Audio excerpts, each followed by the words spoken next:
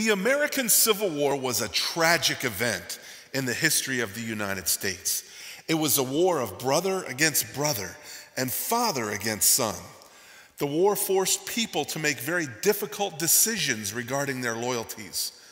One such person was Robert Edward Lee of Virginia. In this three part series of podcasts, we'll get to know General Lee and we'll enter his world of challenges victories, and defeats. My name is Dr. Rick Gardiner from Columbus State University, and this is another Muscogee County School District podcast. Robert E. Lee.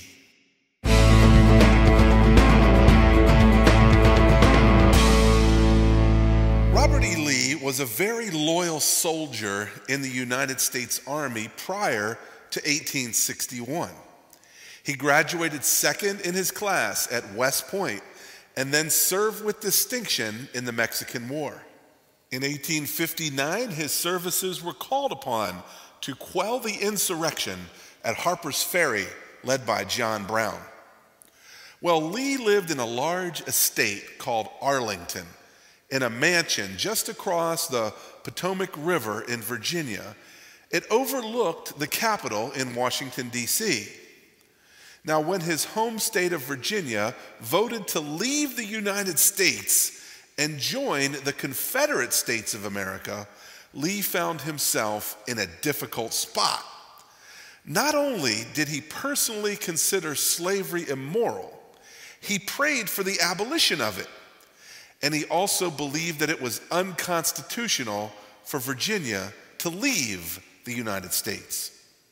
Well, about slavery, Here's what Lee said Slavery as an institution is a moral and political evil. We see the final abolition of human slavery is still onward, and we give it the aid of our prayers. When Lee was asked whether he thought it was constitutional to secede, that is, to leave the United States of America, he said this about the U.S. Constitution.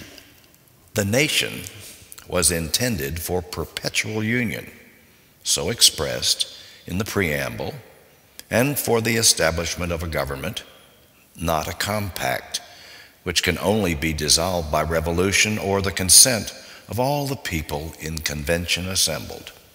It is idle to talk of secession. So, when the southern states seceded and the Civil War started, you might think that Lee would have gladly accepted the offer made to him by President Lincoln to command the United States Army against the secessionist rebels. But Lee did not accept that offer. Here is how he explained his choice. With all my devotion to the Union and the feeling of loyalty and duty of an American citizen, I still cannot raise my hand against my relative, my children, my home. I have therefore resigned my commission in the U.S. Army. Very reluctantly, Lee accepted the offer to lead the Confederate Army. Here is part of his acceptance speech in Richmond. I accept the position assigned me by your partiality. I would have much preferred had your choice fallen on an abler man. Trusting in Almighty God, an approving conscience, and the aid of my fellow citizens, I devote myself to the service of my native state, in whose behalf alone will I ever again draw my sword. Once Lee took the field, his initial battles against Union forces were impressive. In the seven days battle against General McClellan, Lee began to demonstrate greatness.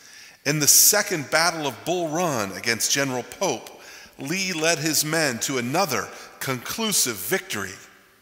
Then, crossing into Maryland, Lee fought McClellan again at the Battle of Antietam.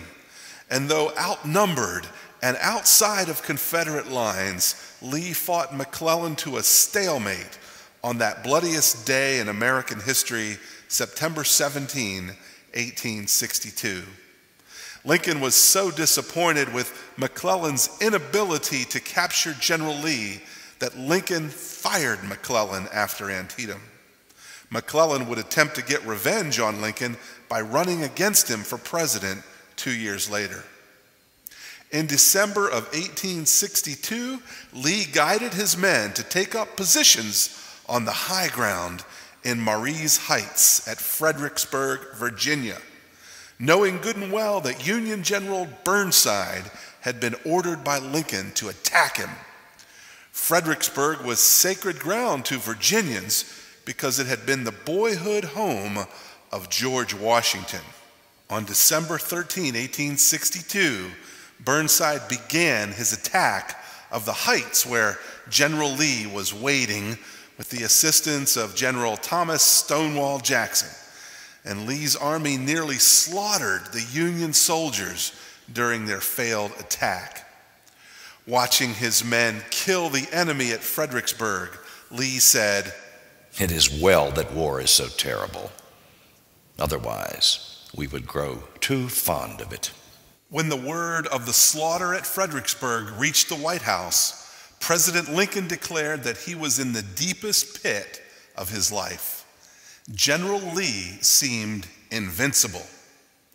In the next podcast, we'll see how even Lee himself began to think that he was invincible. And then we'll look at how that feeling of invincibility led to his army's downfall near a town in Pennsylvania known as Gettysburg. My name is Dr. Rick Gardiner from Columbus State University. This has been another Muscogee County School District podcast, Robert E. Lee, Part 1.